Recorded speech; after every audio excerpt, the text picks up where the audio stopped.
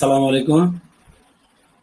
প্রিয় শিক্ষার্থীবৃন্দ, আমি সারদা ফিউচার ব্রেন স্কুলের অনলাইন ক্লাসে তোমাদের সবাইকে স্বাগত জানাচ্ছি।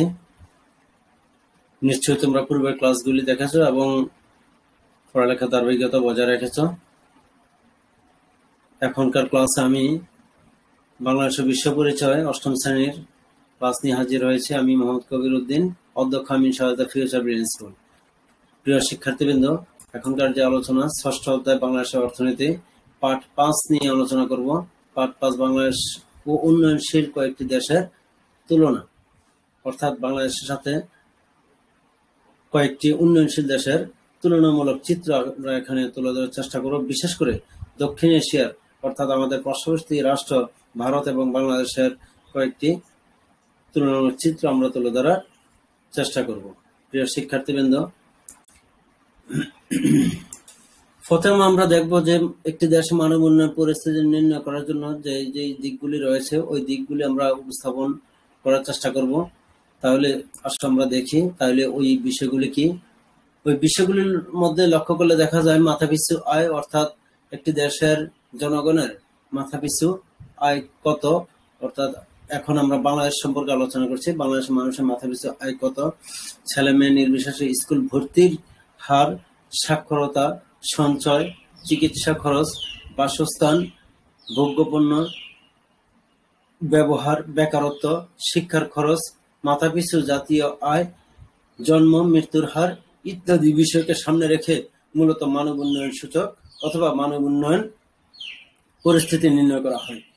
প্রিয় শিক্ষার্থীবৃন্দ, আমরা এখানে পার্শ্ববর্তী কয়েকটি রাষ্ট্র, বিশেষ করে ভারত, পাকিস্তান এবং বাংলাদেশে মালয়েশিয়া, শ্রীলঙ্কা সহ বিভিন্ন দেশের কিছু তথ্যচিত্র তুলে ধরার চেষ্টা করব। নিশ্চয় তোমরা স্লাইডে দেখতে পাচ্ছ যে বাংলাদেশ, ভারত, পাকিস্তান, শ্রীলঙ্কা, মালয়েশিয়া এবং ইন্দোনেশিয়ার যে সূচকগুলি এখানে উপস্থাপন করা হয়েছে, সঞ্চয় অথবা জিডিপির যে পার্সেন্টেজ ছিল সঞ্চয়ের ক্ষেত্রে দুই হাজার দশ এবং আঠারো অর্থ বছরে বাংলাদেশের ছিল ছাব্বিশ দশমিক দুই দুই হাজার দশ এবং ভারতের ছিল তেত্রিশ দশমিক দুই পাকিস্তানের চোদ্দ দশমিক দুই, শ্রীলঙ্কায় তেইশ দশমিক সাত, মালয়েশিয়া বাইশ দশমিক চার এবং ইন্দোনেশিয়া একত্রিশ দশমিক শূন্য। দুই হাজার আঠারো সালের জিডিপির যে অবস্থান ছিল, বাংলাদেশ একত্রিশ দশমিক দুই, ভারত আঠাশ দশমিক নয়, পাকিস্তান চোদ্দ দশমিক আট, শ্রীলঙ্কা পঁচিশ দশমিক সাত, মালয়েশিয়া চব্বিশ দশমিক চার এবং ইন্দোনেশিয়া বত্রিশ দশমিক তিন। এইভাবে অনেকগুলি সাক্ষরতার হার আছে এবং বেকারতার হার, আমি সাক্ষরতার হারটি এখানে উপস্থাপন করছি। সাক্ষরতার হার পনেরো বছর অধিক বয়সের যে জনসংখ্যা রয়েছে, তাদের ক্ষেত্রে যে সাক্ষরতার হার কত, সেটা এখানে উল্লেখ করা হয়েছে। দুই হাজার দশ সালে বাংলাদেশের সাক্ষরতার হার ছিল সাতচল্লিশ দশমিক এক, যেখানে ভারতের ছিল উনসত্তর দশমিক তিন, পাকিস্তান পঞ্চান্ন দশমিক চার শ্রীলঙ্কায় একানব্বই দশমিক দুই এবং মালয়েশিয়া একান্ন দশমিক এক, দুঃখিত তিরানব্বই দশমিক এক ইন্দোনেশিয়া বিরানব্বই দশমিক আট। দুই হাজার আঠারো সালে এই হার ছিল বাংলাদেশে বাহাত্তর দশমিক নয় ভারতে উনসত্তর দশমিক তিন পাকিস্তানের সাতান্ন দশমিক শূন্য, শ্রীলঙ্কা উনিশ একানব্বই দশমিক নয়, মালয়েশিয়া তিরানব্বই দশমিক সাত এবং ইন্দোনেশিয়া পঁচানব্বই দশমিক চার। তাহলে আমরা লক্ষ্য করতে পারছি এখানে ইন্দোনেশিয়ার সাক্ষরতার হার অনেক বেশি ছিল। বেকারত্বের হার দিকে যদি আমরা লক্ষ্য করি, তাহলে শ্রমশক্তিতে যারা নিয়োজিত, অর্থাৎ এখানে একটি বিষয় লক্ষণীয় যে যারা কেবলমাত্র শ্রমশক্তি অথবা অর্থনৈতিক কার্যক্রমে যারা জড়িত, তাদের সাথে জরিপ করা অথবা তাদেরকে ইনক্লুড করে এখানে জরিপের তথ্য দেওয়া হয়েছে। যারা শ্রমশক্তিতে সংযুক্ত থাকে না অর্থাৎ পনেরো বছর নিচে এবং ষাট অথবা বয়োবৃদ্ধ যারা, তারা কিন্তু ইয়ার সাথে, শ্রমশক্তির সাথে জড়িত থাকবে না। অর্থাৎ তারা বেকার থাকলেও সেটা এখানে গ্রহণযোগ্য হবে না অথবা গণনা করা হয় না। দু হাজার চার সালে বাংলাদেশে যে বেকারতার হার ছিল তিন দশমিক চার, আর একই বছরে ভারতে ছিল দুই দশমিক চার, পাকিস্তানে শূন্য দশমিক সাত, শ্রীলঙ্কা চার দশমিক নয়, মালয়েশিয়া তিন দশমিক তিন, এবং ইন্দোনেশিয়া পাঁচ দশমিক ছয়।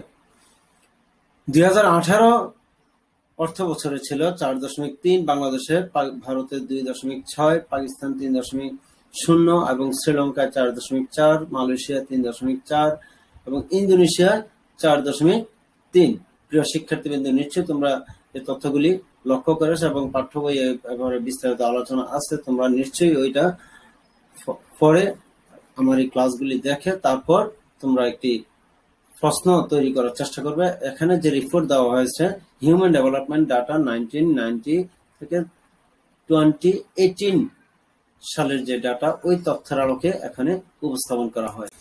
আমরা এখানে আরও একটি বিষয় লক্ষ্য করব যে দুই সালের মানব উন্নয়ন সূচক, এই দুই হাজার উনিশ সালে মানব উন্নয়ন সূচকে বাংলাদেশের অবস্থান ছিল একশো পঁয়ত্রিশতম, ভারতের অবস্থান ছিল একশো উনত্রিশতম এবং পাকিস্তানের অবস্থান ছিল একশো বাউন্ন।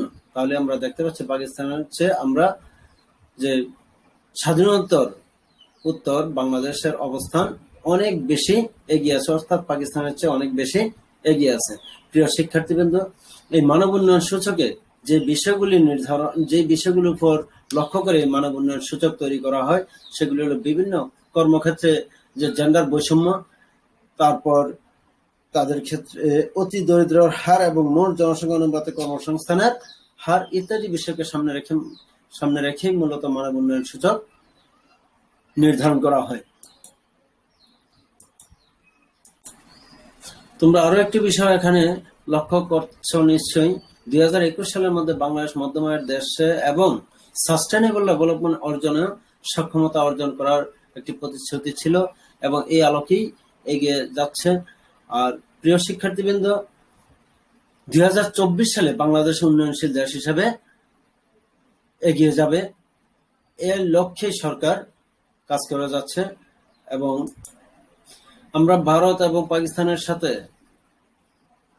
তথা দক্ষিণ এশিয়ার যে দেশগুলি রয়েছে, তাদের সাথে বাংলাদেশের মানব উন্নয়ন সূচক যদি আমরা বিবেচনা করি, তাহলে আমরা দেখতে পাই যে বাংলাদেশ ধীরে ধীরে যে উন্নয়নশীল দেশের যে মর্যাদা পাবে, সেই দিকেই, অর্থাৎ সাস্টেনেবল ডেভেলপমেন্টের দিকেই এগিয়ে চলছে।